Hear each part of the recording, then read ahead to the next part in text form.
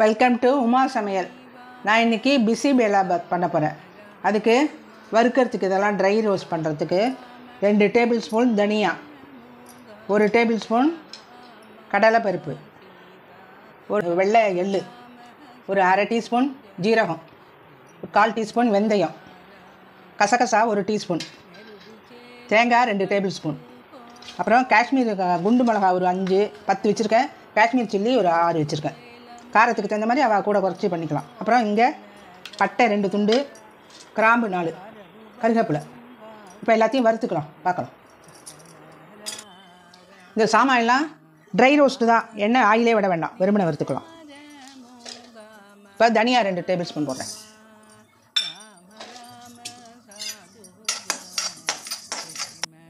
இப்போ ஒரு table spoon கடலைப்பருப்பு. அடுப்பை சிம்மிலேயே வச்சு வறுத்துக்கலாம். ஜீரகம் ஒரு டேபிள் ஸ்பூன். வெந்தயம் ஒரு கால் டீஸ்பூன்.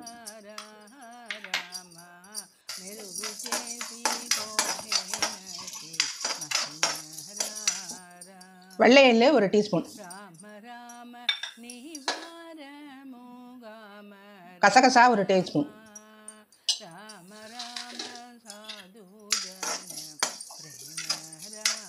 கருகாமல் கோல்டன் ப்ரௌன் கலருக்கு வறுக்கணும். அப்போ தான் டேஸ்ட்டாக இருக்கும்.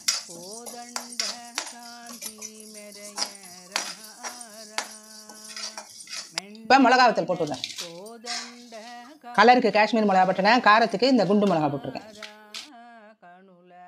பண்டு ஓக உண்டு தண்டராரா ராம ராம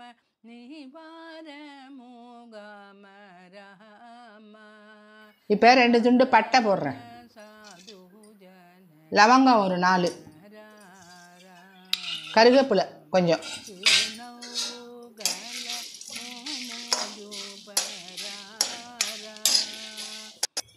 ரெண்டு டேபிள் ஸ்பூன் தேங்காய் துருவல்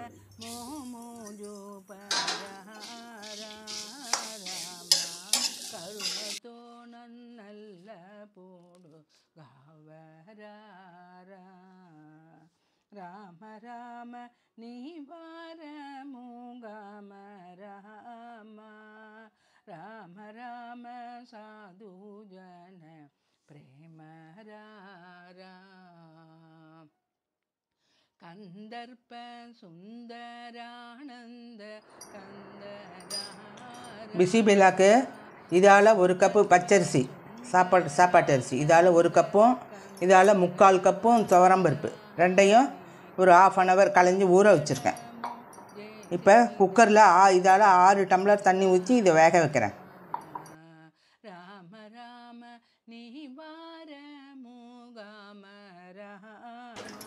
கொஞ்சம் கொதிக்கட்டும் அப்புறம் அரிசி போடலாம். இப்போ தண்ணி நல்லா கொதி வருது. இந்த அரிசியும் பருப்புக்கும் கொஞ்சம் உப்பு போடுறேன். ரகித வேத கொஞ்சோண்டு மஞ்சப்பொடி. ஊற வச்ச அரிசி பருப்பை போட்டுறேன்.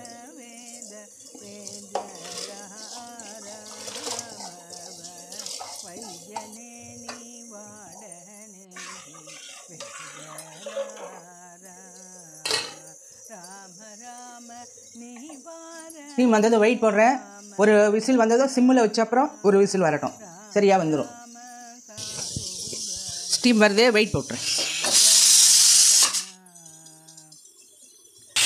இப்போ ஒரு சவுண்டு வருதே சிம்மில் வச்சு சிம்மில் வச்சு ஒரு சவுண்டு வரட்டும். நல்லா குழஞ்சிடும்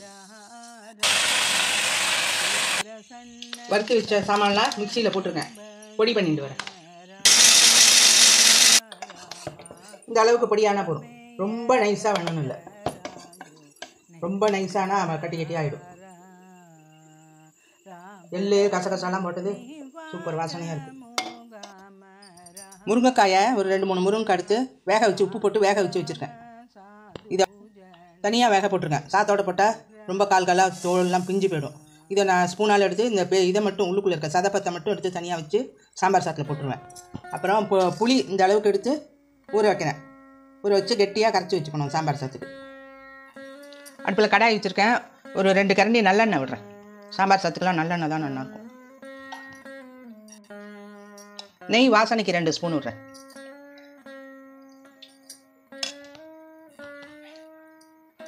கடுகு போடுறேன். கடுகு வெடிக்கிறது சின்ன வெங்காயம் உரித்து வச்சுருக்கேன் இந்த அளவுக்கு. அதை போட்டுறேன்.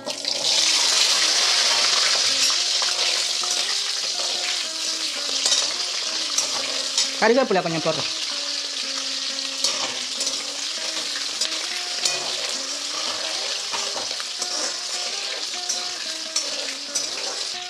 பாதி வதக்கிட்டு இப்போ கரைச்சி வச்ச புளியை விட்றேன்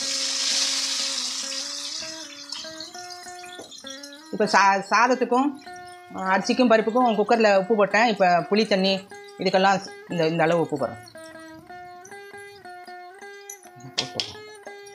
இப்போ வறுத்து பொடி பண்ணி வச்ச சாமான்லாம் போட்டு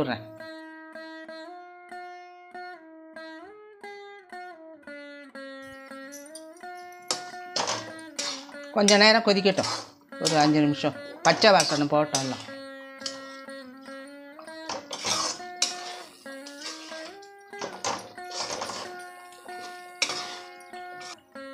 இப்போ வச்ச உரிச்சு வச்ச முருங்கைக்காய் விழுதை போட்டுறேன். முருங்கைக்காய் அப்படியே போட்டால் தூள் தூளாக வெண்டு சாப்பிடவே முடியாது.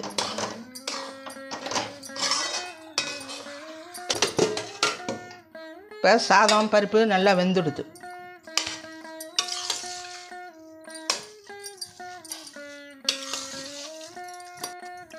இப்போ கடாயில் வதக்கினதில் புளி அரைச்சி விட்ட சாமான் எல்லாம் அதில் போட்டு ஒன்றா ஒரு கல ஒரு கொதி விட்டு எடு எடுக்க வேண்டியதுதான். ஒரு ரெண்டு நிமிஷம் கொதிக்கட்டும். இந்த மாதிரி இருக்குது ஆற ஆற கெட்டியாகிடும் லூஸாக வேணுங்கிறவா இன்னொரு டம்ளர் வெந்நீர் பச்சை தண்ணி விடக்கூடாது.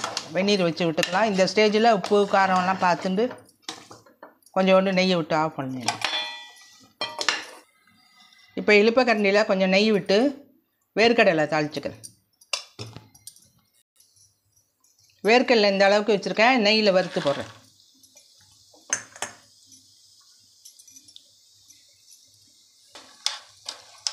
கொஞ்சம் நல்லா ரோஸ்ட் ஆகட்டும். பச்சை கடலை இது.